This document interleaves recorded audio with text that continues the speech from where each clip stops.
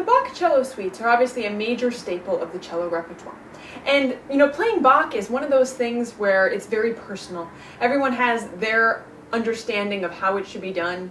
Um, some people that's informed by historical practice, others it's just personal taste or, you know, different traditions that have evolved over the years. Um, and that's part of the beauty of Bach, is that you get to figure out how to do it for yourself um, and figure out what works for you. So what I'm going to talk about a little bit here is not so much, you know, what I do, because you definitely don't need to do the same thing, um, but how I figure out what I'm going to do, all right, and how I go about dissecting Bach and figuring out what I like and what I don't. Um, and so it's just some, some ideas for practice, mainly, is what, what I'm going to give you here. So I'm going to use the Prelude of the First Suite, since that is certainly a popular favorite. And um, couple things to think about just specific to this piece. Leave your fingers down whenever you can. Um, you know, a lot of what you're playing here is basically chords with some fancy bowing patterns. So uh, it can simplify things a lot if you just just leave your fingers down and, and let your bow kind of, you know, scoot around. So for example, if you were playing something like this, notice, you know, sounded kind of fancy, but my fingers did not move an inch, right? And there are a whole lot of opportunities in this piece to just leave your fingers down. So keep an eye out for that.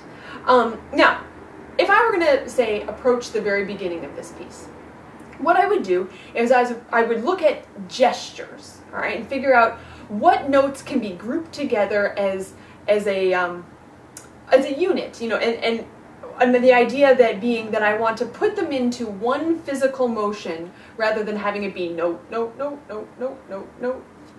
All right. So the first three notes I think hang together quite well as a natural gesture. You've got right, and I want to feel in my arm that that feels good and I'm just coming around feels good. But you know maybe that's not the gesture you want. Maybe your first gesture goes like this. Maybe that works better for you. Okay so I'm figuring out how to group notes together right I'll talk about that a little more in just a sec first thing though for these first I don't know what is it, like eight measures or so definitely we need to think about the overall phrase and the overall line. So I'd, I'd, probably start practicing just with chords, honestly. I'd maybe go and a little more.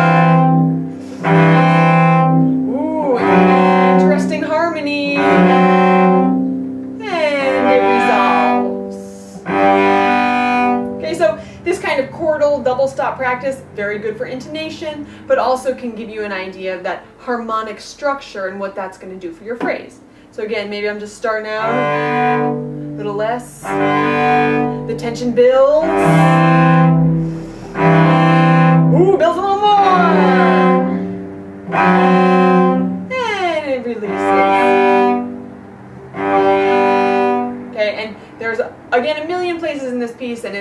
Bach suites where you can just practice the chords and that kind of idea. All right, so back to what the bow was doing, though. Maybe I'll, um, you know, I've got this gesture. I'll put in the whole phrase, just taking out all those other notes.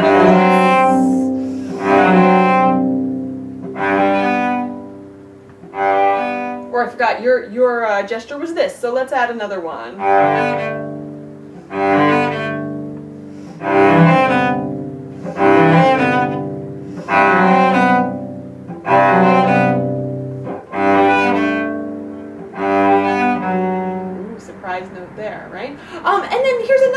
We could have this.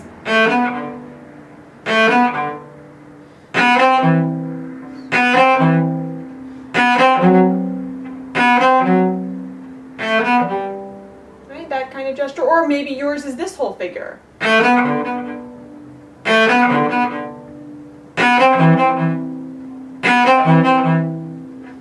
Okay,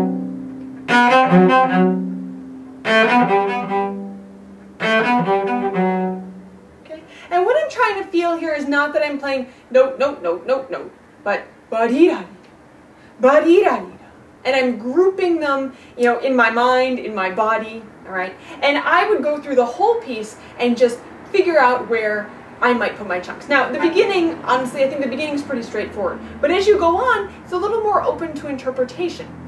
So, for example, if I were to start in measure nine, you know, maybe my first gesture is,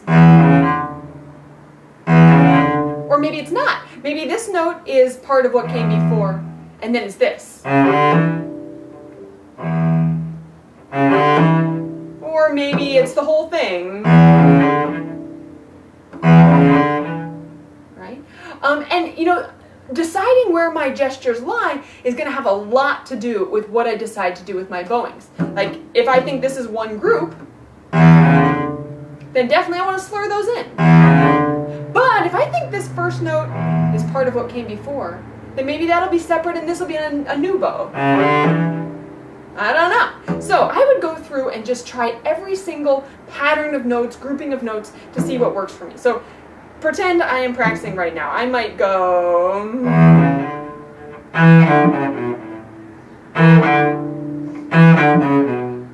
Right,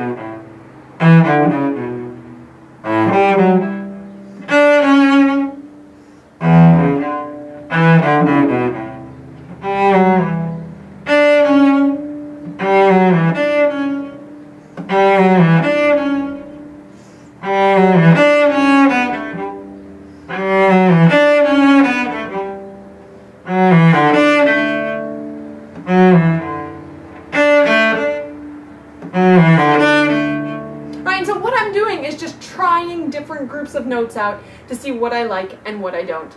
Uh, and eventually, I'll keep some and I'll get rid of others. All right, so this is literally what I do for pretty much all my Bach practice to work on my phrasing.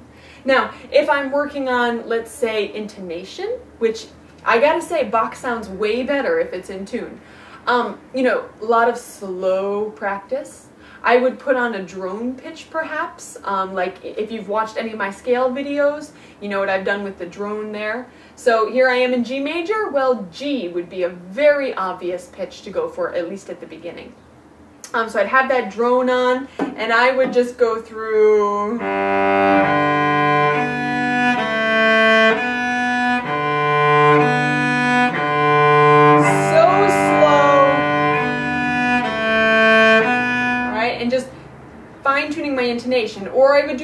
Stop stuff like I showed you. That's also great for intonation. Um, and then my other big suggestion, you know, I'm not going to give you too much because, again, it's your own thing. Um, my other big suggestion would be listen to a lot of different recordings, uh, consult a lot of different editions. I use the Bärenreiter. A lot of people use the Bärenreiter, but um, you know, there's a lot of different ones out there. Maybe you're more into the case you'll have some very different bow challenges. You might practice that kind of stuff just on open strings, right?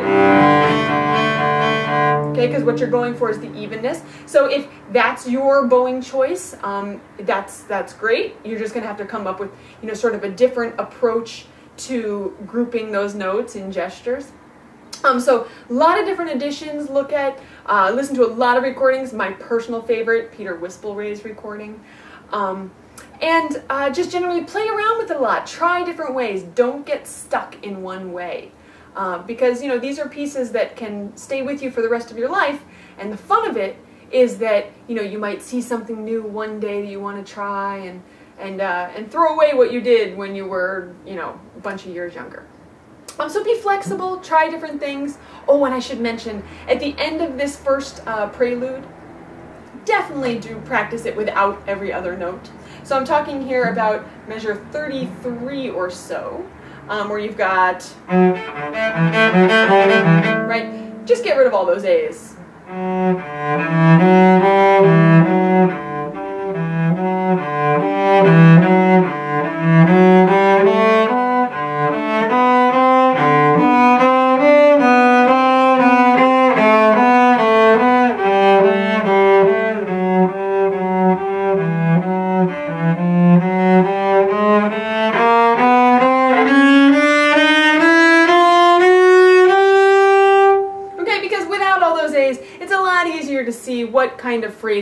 Actually truly want to do. And then you go ahead and add them back in, and keep your phrasing ideas. So.